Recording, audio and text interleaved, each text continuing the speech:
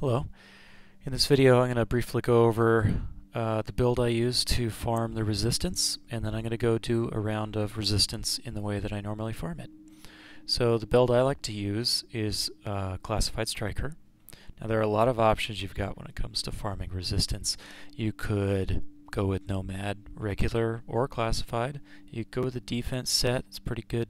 Um, but in general, you know, what you want to look for is decent damage, decent survivability, uh, and decent sustain, or any sort of, you know, health regen without the use of med packs. Otherwise, you gotta buy more med packs during resistance, and that's less shade tech that you can spend on the crates. So, with Striker, for those of you who don't uh, know a lot about Striker, every for regular Striker, every bullet you land on a target gives you a stack of the Striker bonus. The Striker bonus gives you 1% damage bonus. So this stack, this can stack up to 100 times, and it always is decreasing at one stack every second. So uh, as you fire on a target, as you lay bullets on a target, you'll accumulate stacks and your damage will shoot through the roof until it maxes out 100 stacks and you get 100% damage bonus. Uh, or 100% added weapon damage bonus. It's not exactly double damage if you've got other weapon damage bonuses as well, um, but it's very strong doing double damage when you've already got 360,000 listed primary firepower is um, is pretty obscene. And the best part is Classified Striker makes it so that as you accumulate uh, stacks of your Striker damage bonus, you also accumulate stacks of a Striker healing bonus. And this healing bonus increases for every 3,000 stamina you have. And uh, personally, at 9,000 stamina, the healing is overkill for me. I don't do a lot of legendary content or uh, incursions. I mean, I you know I dabble, but it's it's not something I do day to day. I like having more casual fun, um, laid back. I like to relax, right? So um, some of the heavier challenges, you know, I save for um, when I'm in the mood. So I go for 6,000 stamina, uh, and with my health, this amount of stamina gives me about like somewhere in the range of 35,000 health per second, um, which is a little better than anyone's really good healing lunchbox, right? And I get to take it uh, with me wherever I go, constant healing all the time. So um, you kind of get a sense of what I mean by it. Sort of like feels like you don't give up anything to be really good. So in this case, you don't really feel like you need skills because you do so much weapon damage and have so much healing that the, the skills you'd normally use to increase your damage or increase your survivability or sustain, you've already got in sort of the baseline bonus of what being striker is all about. So, uh, in general, just some general stats here. I've rolled two pieces of striker for stamina, the other three pieces to firearms. I do this because I want to just barely get above stamina, so I roll enough pieces so I'm between 1 and like 1200 stat points away from the breakpoint that I want, and then I make up the rest with gear mods. Because if I roll like 3 pieces of stamina, because of all the rolls on classified gear, I'd be up at like the 6400, 6500 range, and that's too much for me. I want to get just barely enough stamina and push absolutely as much as I can out into firearms. Get as much damage as possible. So that's what I've done here. I'm wearing um, stamina mods. They're purple because they've got damage to elites. You can't get damage to elites on yellow mods, unfortunately, since it's a secondary stat. So I'm using purple mods. I'm using just enough purple mods to be able to get up to the stamina, and then I don't happen to have a firearms mod that has damage to elites, but if I did, I'd throw that in here. Damage to elites is a great stat for gear mods in PvE as long as you're fighting a lot of yellow enemies. You know, if you're playing on normal all the time, fighting red enemies, uh, damage to elites isn't good. But for the resistance, anything after like wave 4 is going to be yellow enemies, so elites. So damage to elites is very powerful. Um, in general, I go for ammo capacity, enemy armor damage on major attributes, uh, damage to elites on minor attributes, some health on kill here and there, um, some health, I've got reload on my holster. Um, I got assault rifle damage on my gloves. I got skill haste here because there's really no other good choice. I could go for like SMG damage, but I don't really use SMGs all that much. Uh, my secondary weapon, the house. And I think my other options were like crit hit chance, crit hit damage, but I don't have crit stats anywhere else on my gear or attachments for the weapon I use almost all the time, so those were useless to me. I just ran some skill haste because why not? Whatever. Um, as far as weapons, I'm using what everyone else uses, lightweight M4, basically because the gun just outclasses everything else, especially with Striker, with all the stability from the Striker build, or from the Striker set, something like 30% stability from the Striker set, 35 maybe. Um, the lightweight M4 is a laser beam, doesn't have any recoil issues, so like maybe some people would use like the ACR or the G36 because it's easier to handle. If you've got classified striker, you've got so much stability that the lightweight M4 feels like the G36 or the ACR, but it's more accurate. So it's uh, in this with the striker, it's just it's the better choice, and in general, typically it's the better choice too. So on my lightweight M4, I got predatory, I got destructive, I got determined. Now a lot of people run predatory and destructive, which is great. Those are all really good. Um, destructive is uh, really good on Striker because the alternatives, added weapon damage stuff like responsive, unforgiving, um, competent, those all are additive with the 100% damage bonus that you got from Striker. So essentially it cuts the effectiveness of those things in half uh, as opposed to how much benefit they might offer you in a build that doesn't have any added weapon damage in any case. Uh, so destructive is really good because this is more or less multiplicative with the bonuses you got from the striker stacks. I personally, I love running Determined because, especially on Striker where you've got no skill power, because Determined um, has no internal cooldown. You're doing so much damage that even in a group, you're getting a ton, the majority of the killing blows. Uh, it your your skills come back so fast. I've had situations where in certain parts of Resistance, you're getting so many enemies coming at you that I've had a popped TAC Link and I've had the cooldown for TAC Link come back faster than the debuff, keeping you from activating again. I think the debuff is 60 seconds, maybe 30 seconds. I've had the skill come back that fast, despite the fact that with this amount of skill power, my TAC Link is the cooldown is 700 seconds, like 11 minutes. Had come back in less than a minute. Uh, so competent, very strong with this sort of build where you're doing a ton of damage, where you're getting all the killing blows, you're getting credit for all of that. Um, it's kind of unfair to like if you're playing with like a nomad because they depend on the health on kill a lot as well. So, you know, survival of the fittest, I guess. So, that's what I run mainly. I've got the house. I don't use it all that much. I use it if I feel like I'm getting low on ammo for the lightweight M4. Um, but in general, because of all the stability, the lightweight M4 is just so accurate at all ranges that it just feels more powerful in pretty much every aspect. Um, sometimes I run with the Pecan as a secondary instead of the house uh, because of the same reasons I run the lightweight. You know, it's accurate, it has a really great headshot multiplier, it's got destructive. Um, it just I don't have competent on it or determined on it, so it's it's not quite as good as my lightweight M4. Um, you know, you could run with like, I don't know, an M60 maybe. Uh, after you get your stacks from lightweight M4, a lot of people like to run with shotguns in their secondary to get the stacks right off the bat. Um, all good choices. I just personally, I run with lightweight M4. I use it almost exclusively. In the resistance, you kind of have to play around with ammo conservation if you want to avoid buying any ammo before you get to the very end.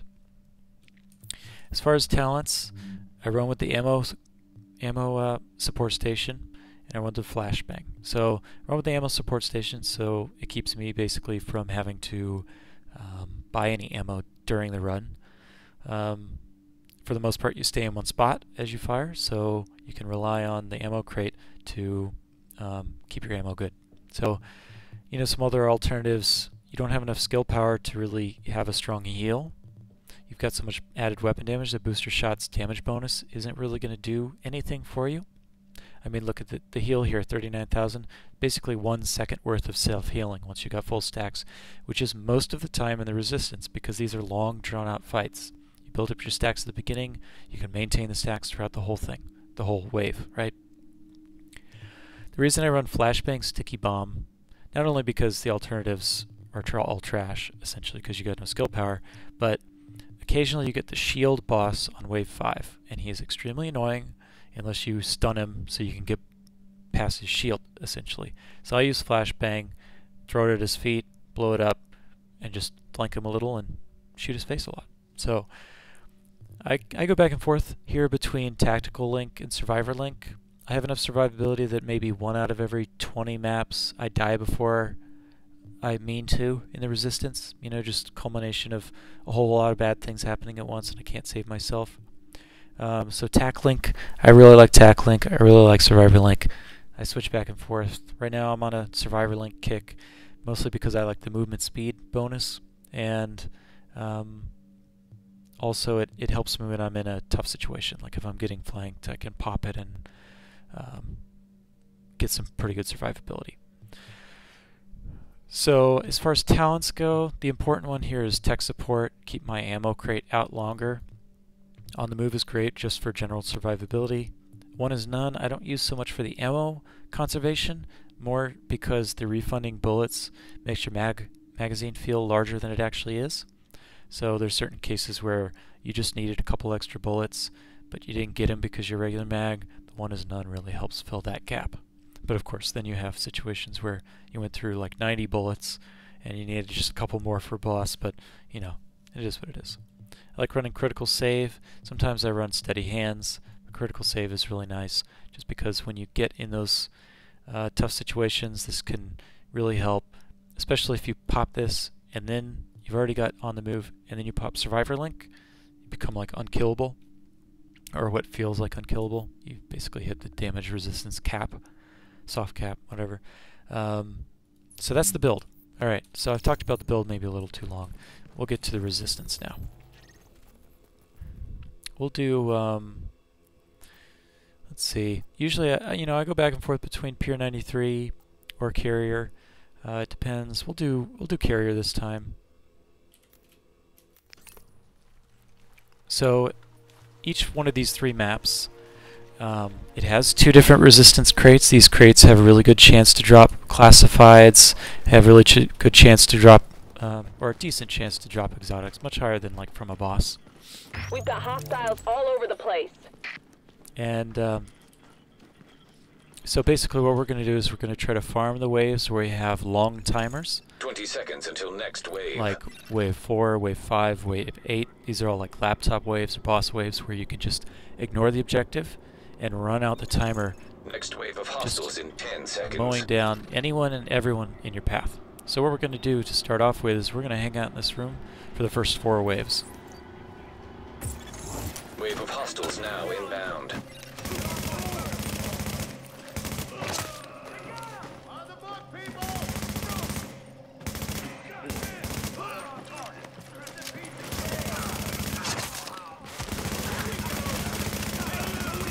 I'm five hostiles remaining.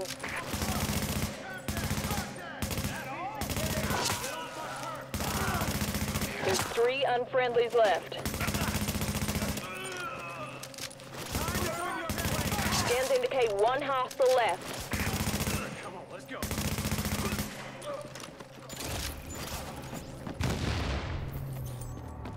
Looks like you've got some EMP bursts inbound.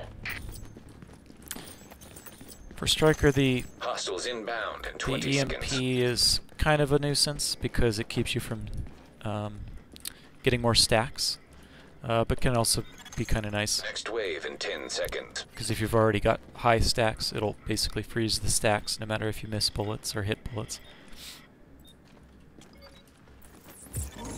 EMP blast incoming.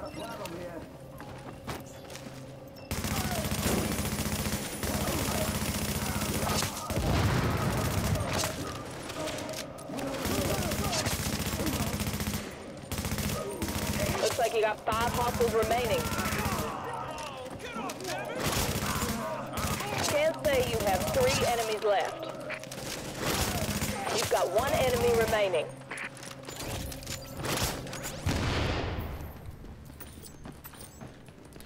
Not bad. 20 seconds until next wave. So I like to prime these doors so that when I have to open it later, it's just a quick little touch. Just keep that. 10 seconds until next wave of hostiles. So we're still at full ammo, which is good. We've stayed inside of our ammo crate this whole time. Next wave of hostiles is beginning.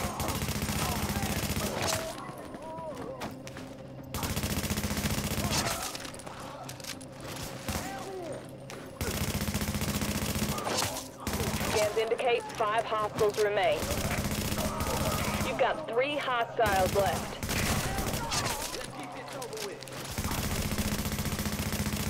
Scans indicate one hostile left. Hey, get ready to scan the objective. So this one is the 20 seconds until next wave. is the laptop wave. We're gonna stay in here until probably there's like depending on how far away it is, because it's a really long, narrow map. 10 seconds We'll, until uh, next wave. We'll just hang out um, either between 30 seconds to a minute. We're gonna open up that door. We're gonna run for the laptop. Probably pop survivor link for the um, movement speed. Scan the indicated location.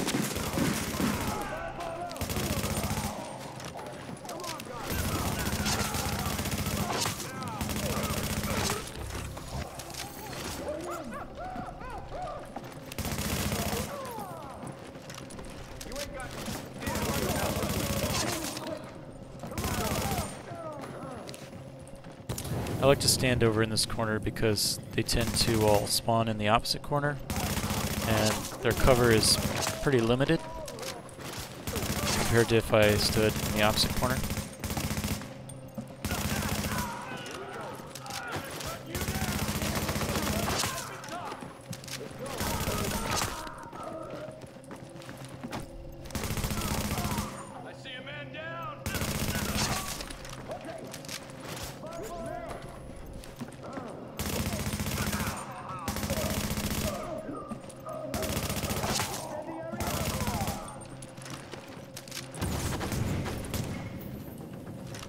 Of combat, so I just lost all my stacks.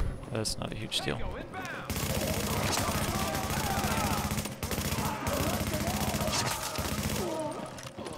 You can see I gain them back pretty fast. Alright, it's kind of far away, so we're going to start gathering and then we're going to run. Objective. Fire at will. Contact. Contact. Focus fire. I can do this all right. I'm going in.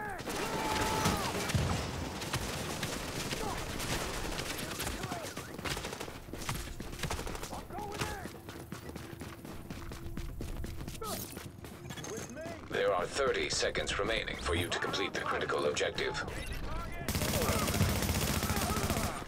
Over Don't get sloppy.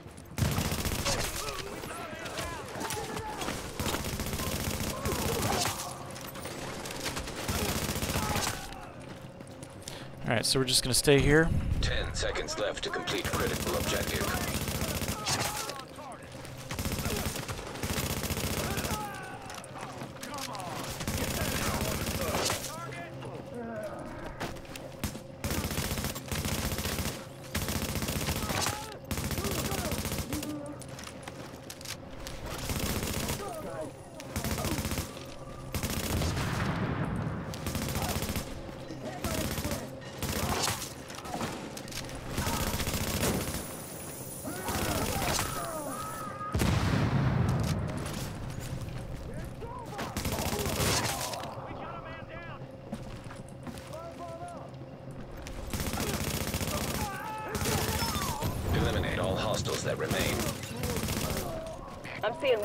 Hostile.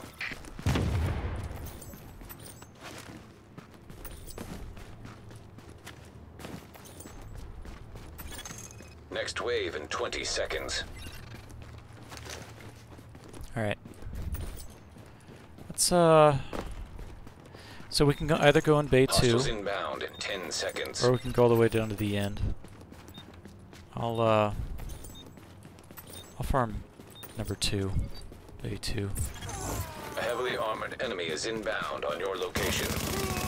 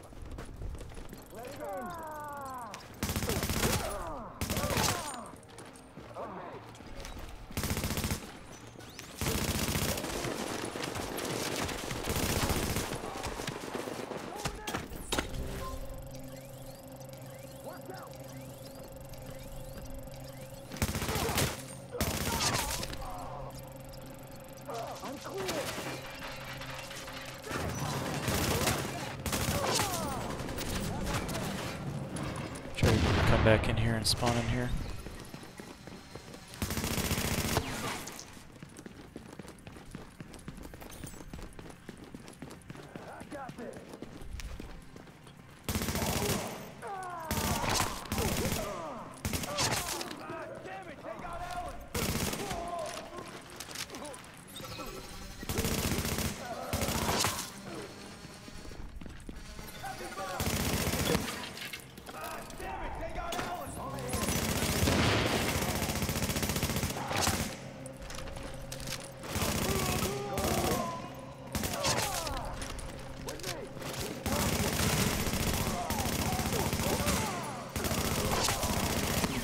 There we go. This is more like it.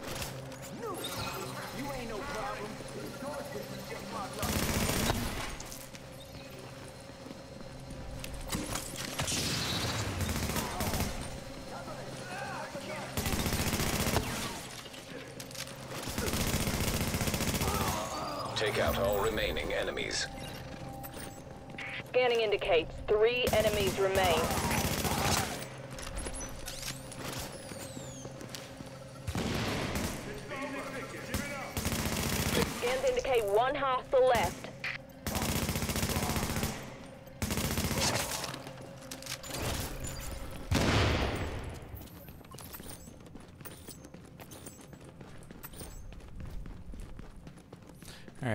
Here's the SXT crate. Hostiles in 20 seconds.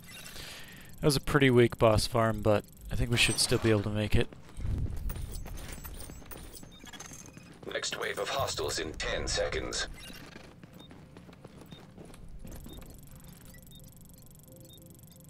So six is a drone wave, so we'll just take them out here. The next wave is about to begin.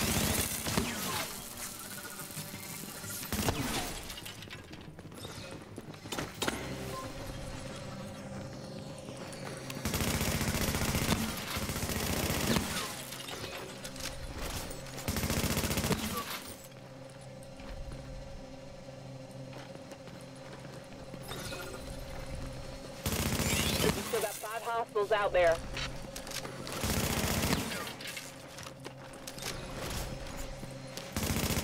You've got three hostiles left. Alright, and one human, probably?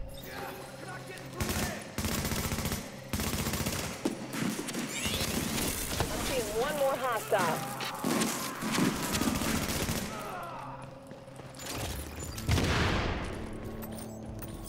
Let's go get some more Prepare for loss of Shade Tech capability. 20 seconds until next wave.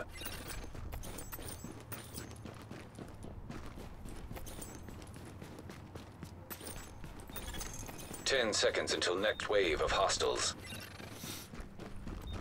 So I like to hang back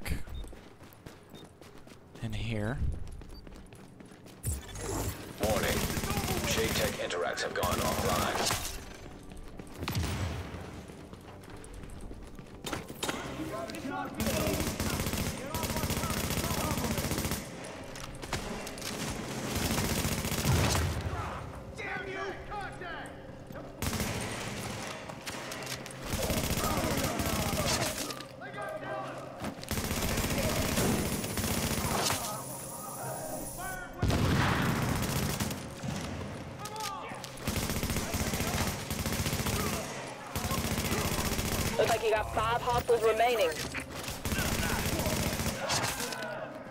Shoot! For God's sake, to be sweet!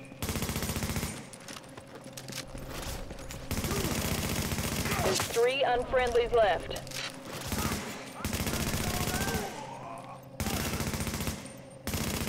I'm only seeing one more hostile.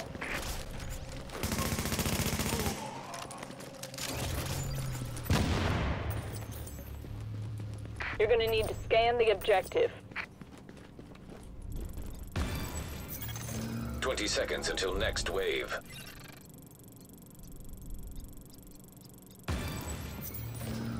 Alright, what was that? Nomad? Next wave of hostiles in 10 seconds. Here we go, the tough one. Scan the target area.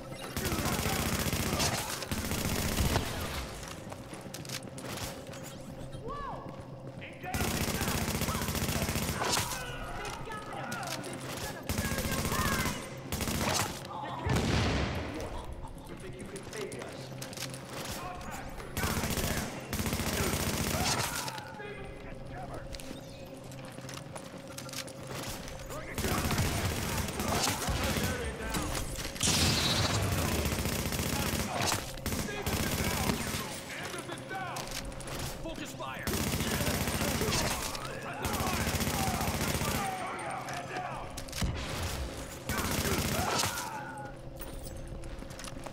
Jesus Christ! He's hit me! Easy target! Weapons hot!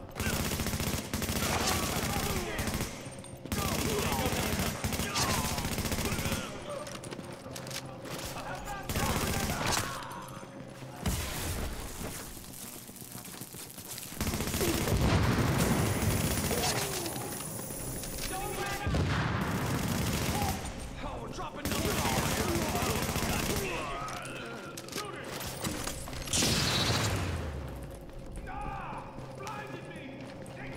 It's not too far away.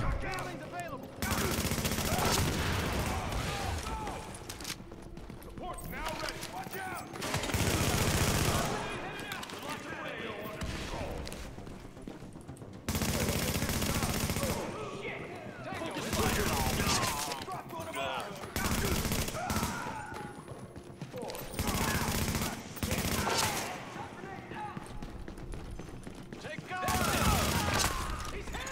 There There is one minute remaining to complete the critical objective.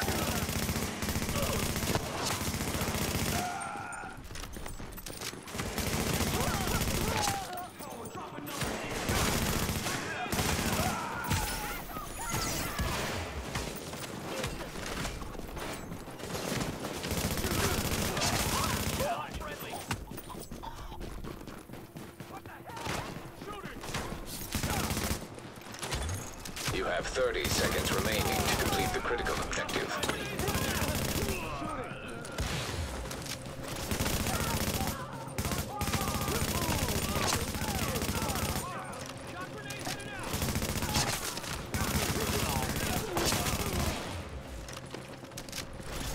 Ten seconds remain for you to complete critical objective.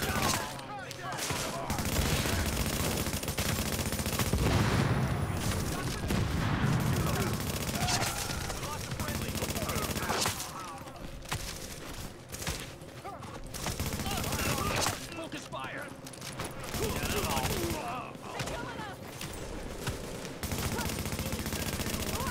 Friendly's down.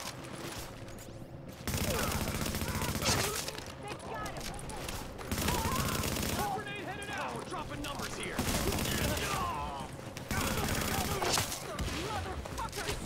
What the hell? Shoot it. Deal with remaining enemies. You've got three hostiles left. Scans say you got one hostile left.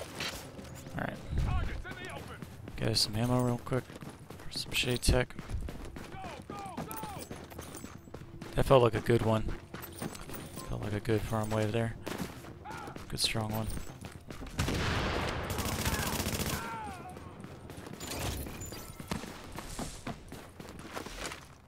Get ready.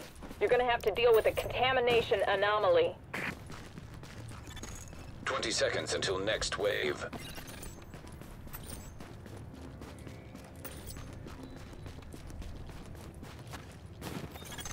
Ten seconds until next wave.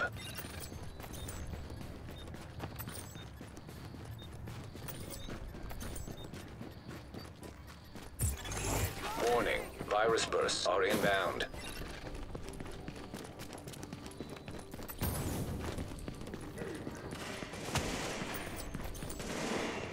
Yeah, not much of a challenge. Focus fire.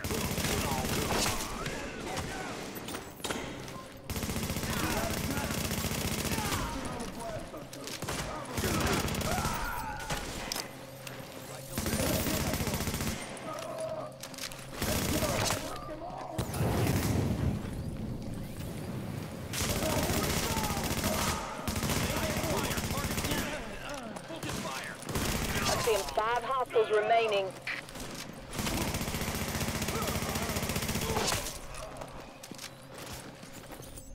Contact, contact.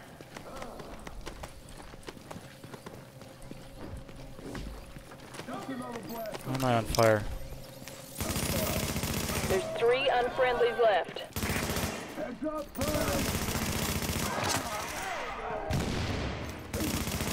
Scans indicate one hostile left.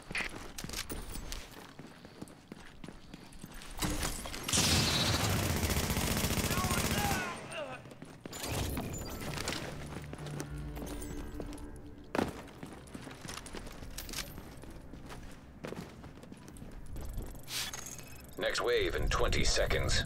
Alright, number three, and then we should be able to farm the rest during wave 10. Hostiles inbound in 10 seconds.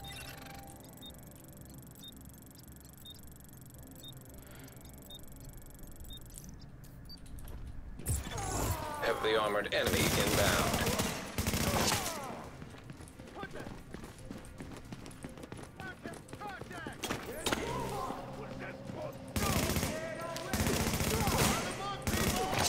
Oh, we got a good boss wave. Sometimes you get the bosses where you get you get only elite enemies the entire time.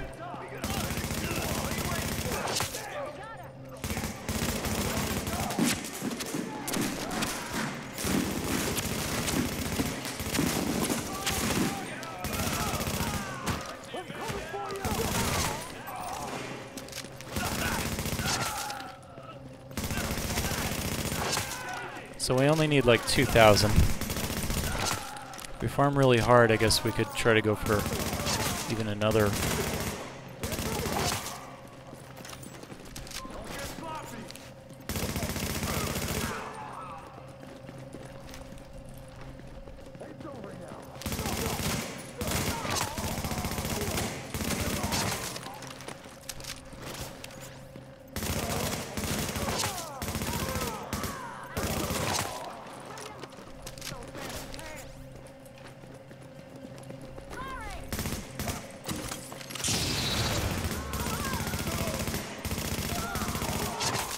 We got the number by the numbers.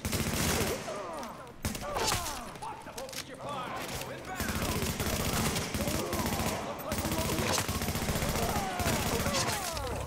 Alright, let's pick all this shit up.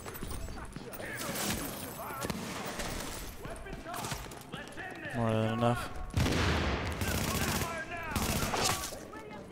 So what we'll do now we'll go kill the boss.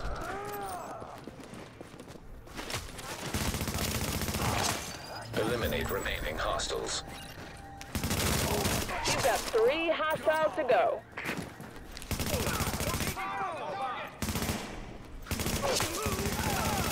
Scans say you got one hostile left.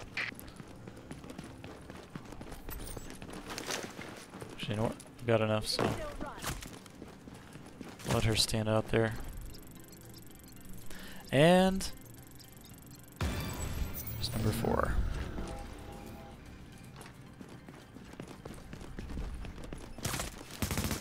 Get out of here.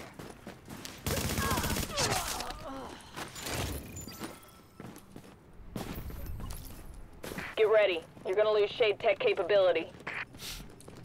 So that's pretty much the farm. 20 Um, seconds until next wave. At this point, there's really nothing left to do. I mean, man, if I pick up all this stuff, I'd probably have to go another three waves, four waves to get 10 seconds until next wave to get another hostiles. 6,000. And from here on out, it's all elite enemies, and it's not really that fun. Not as fun as the first 10 waves. So, pop survivor lane link interacts have gone just so it doesn't pop and heal me later on. And I just let people kill me. I'm gonna rush out.